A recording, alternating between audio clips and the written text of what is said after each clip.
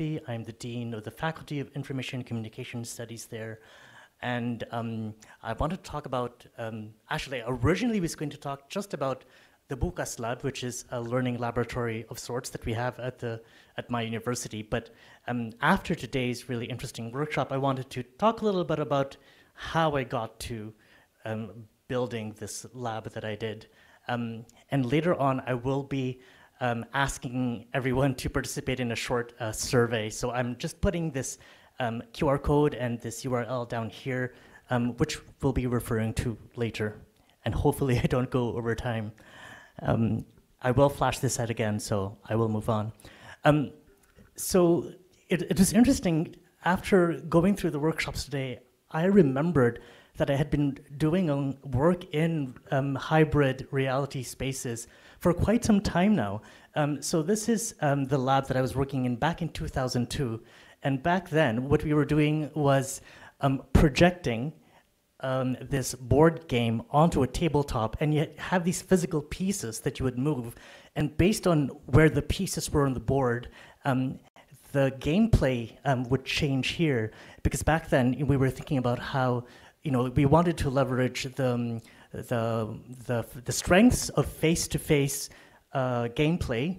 Um, so there's lots of um, nonverbal uh, cues that you can work with, um, all this fun things are kind of grouping together physically, but also the ability of digital spaces to capture complex um, states. And we were using Palm Pilots back then because that was the, the cool technology back then. And so this was back in 2002. And I haven't been doing a lot of work in, in gameplay um, since then, but this is still one of, uh, well, I wasn't the, co the, the lead author here, but this is still the paper um, that I co-wrote that still gets most cited. Um, but my background is really in computer science and dance and contemporary dance. And as a dancer, one of the things that I came to appreciate was learning about my own body, um, body awareness, um, and this field of study called somatics, which is the um, study of, the, of your own body from within, a phenomenological view of, of one's own physicality. Um, I trained in something called the Feldenkrais method um, for, a, for a, quite a while, and it's a very slow, very gentle movement practice that is about trying to build um, awareness of your own body. Um, and I found this such a, a beautiful, uh, fantastic, useful um, method.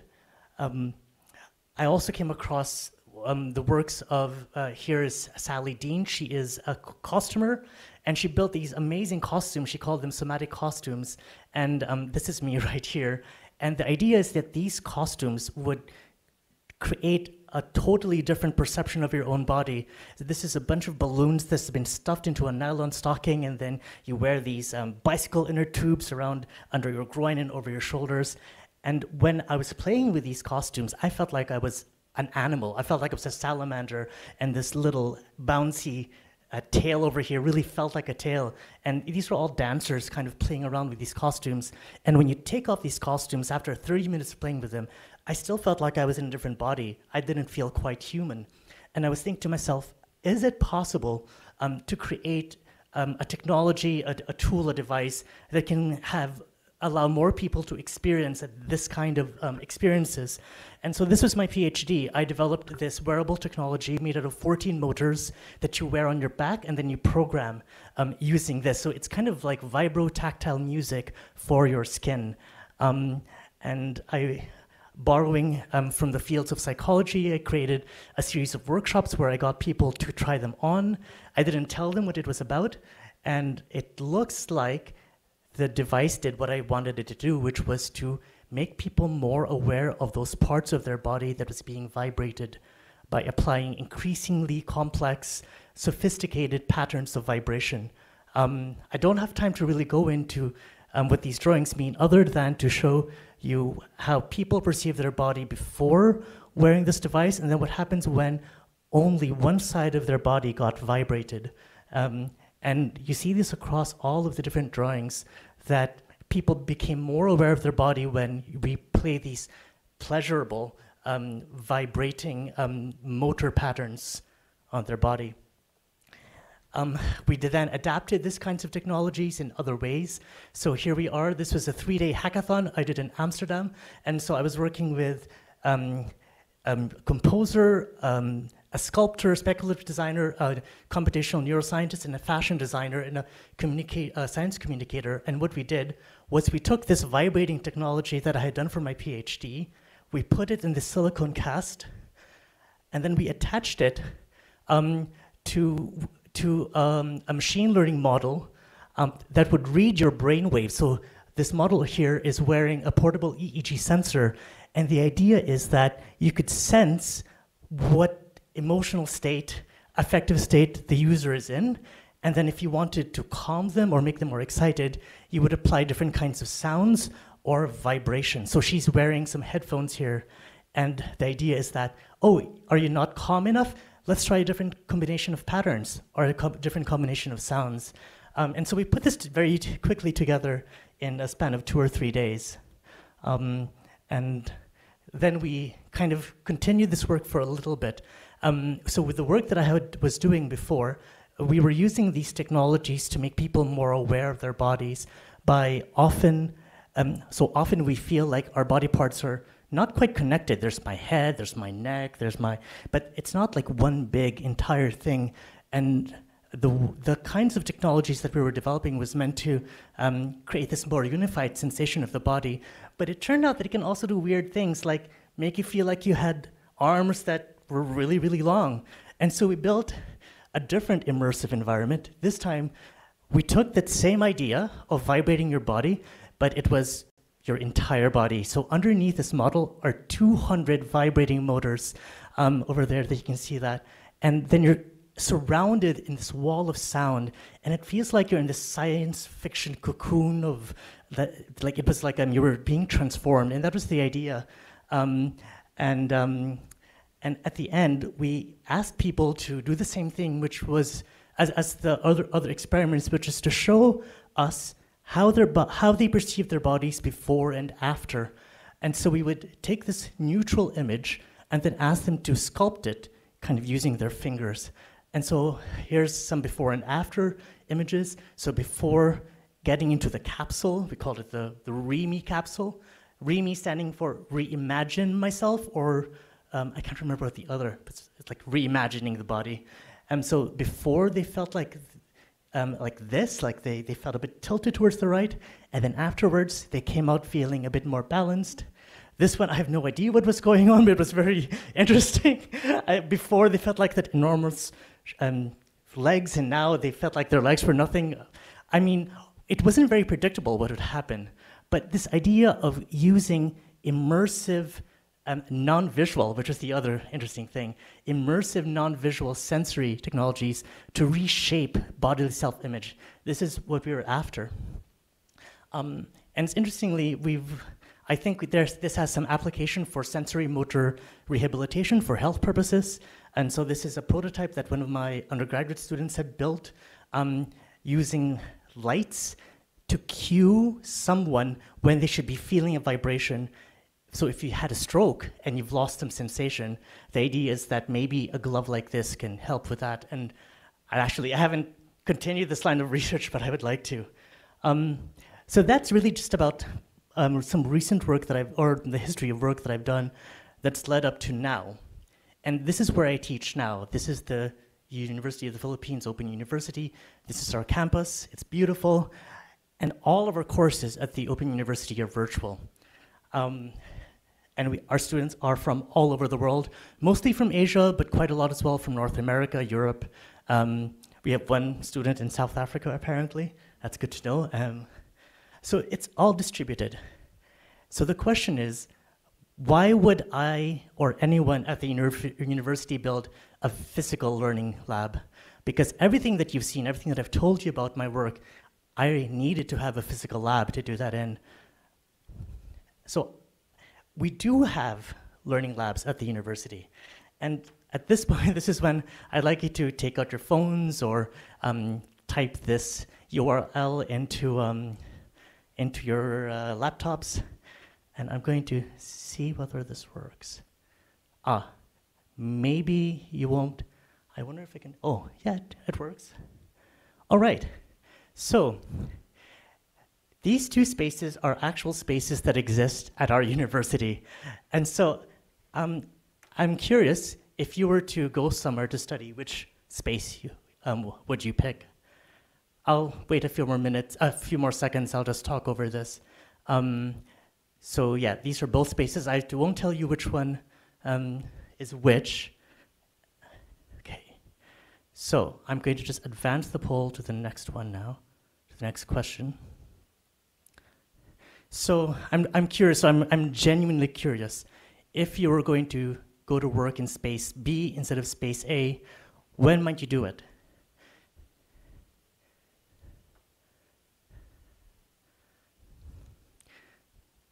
I'll wait like maybe five seconds or um, so this space there's fluorescent lighting and then there are these desks and there are these people there to work alone when you really need to focus when you need to enter a, a non-interactive seminar okay I'm going to move this along just in the interest of time and when might you choose to go work in space A instead So there's lots of wooden detailing, and there's these weird kind of, I don't know what these are, like capsules with some plants. When you want to do something creative, to focus and spend a long time there, great. Okay, so I'm just going to move this along and go back to my presentation. Right, so this was the existing um, learning space that we had at our university um, it had been around for 15 years, 20 years, something along those lines. Um, more, um, and these kind of reflected um, the way we thought a learning laboratory um, would would look, should function. So it was still important, we found out, for students who were virtually participating at the university to still have a physical place to come together. Um, but then about 12 years ago, um, we invited this artist, his name is Angelo Vermeulen, um, to, to do um, a six month long project with us to build a new media art installation, um, which was this. So, working with our students, we, we totally dropped the pure online only mode and we built this sculpture together. So, what you see here is a 10 foot case, 10 foot high case made out of recycled coconut lumber inside our old computers that have been made to run again, and some of them are being cooled using living algae. So this algae is being pumped into the computers um, in order to cool them. The algae becomes too hot, so we cool the algae using um, fish tanks that are inside. Oh, I'm, I'm 13 minutes in, so I'm going to stop this. So, so um, and so all of this is actually also serving as a kind of greenhouse for the plants that are growing inside. And so we've been doing this kind of work of reimagining what technology, biology um, might look like um, in many places around the world. And then the pandemic hit. And when the pandemic hit, everyone went online at the university. So we've always been teaching online at the Open University, but suddenly even the teachers had to function um, completely online. And then we realized humans are made out of flesh and bone, and we're materials, and we need physical spaces to work in. And so over the course of the next um, three months during, oh, over the course of the year during the pandemic, um, I started to prepare building a space where students and faculty could get together and co-create in the way that we had co-created um, that installation that we had done before. And so this is one of our existing laboratories. And then over time, I transformed it into the Bukas Lab. So Bukas in, the in Filipino stands for both tomorrow and open. And so the idea is, is this open lab um, where um, students can come in along with faculty, experiment and prototype. Um, and we've, even though we are a completely um, virtual university, we've um, started offering um, some courses, at least one course, that tries to make use of this lab. So I'm going to close by talking about one example activity that we've done in this lab. This is the Wearable Futures Hackathon, and over 12, the course of 12 weeks, what we did was get students to learn about futures thinking, forecasting, speculative design, and wearable technology design. And so for the first time um, in a long time, we've had students physically come into our physical spaces um, and learn in this kind of um, hybrid manner. So I think we met in total of four times over the course of 12 weeks. Um, so, and you can see the kinds of topics that we covered. Uh, we talked a little about, about um, futures thinking, um, deep time thinking, speculative um, design, um, and then students worked on a combination of um, theoretical work and then practical work. So here they learned how to program with a microbit, which is a microcomputer. And at the end of the 12 weeks, the students came up with some of the most interesting projects. Some of them I totally didn't expect. So one student came up with a suit um, that would generate electricity as you walked. And the idea is that why do we waste all of our energy working at the gym and then not capturing that energy? Um, and he imagines that 50 years into the future, this is what all gyms are going to be. No energy is wasted. Um, this student, I was very concerned about how farmers, um, how farmers can incorporate technology into their, into their work. So this is a glove that in the future can sense pH and soil moisture even as you're tilling the ground. And what I love about this project is how really close to the body and how she really thought about um, you know, how it might be possible to engage um, different kinds of people in wearable tech. Um, um this is probably one of the most interesting ones produced by, uh, by a group. This is a set of underwear and a belt um, that if it's tugged forcefully and without consent, it sends an alarm. Um, and it alarms other people in the area. It sends an emergency message to your contacts. Um, so it's, it's basically an anti-rape, anti-sexual harassment device. Um, and so what's common uh, oh yeah, this one is really interesting too. This is um, this is a watch and also something that's imprinted into your skin that tells everyone what your carbon footprint is, and so that your carbon footprint footprint becomes a measure of your social acceptability. So I think what was interesting and unpredictable for uh, what I didn't quite expect was how the students were so passionately, um, obviously political in the, um, in the way they thought about the future and technology.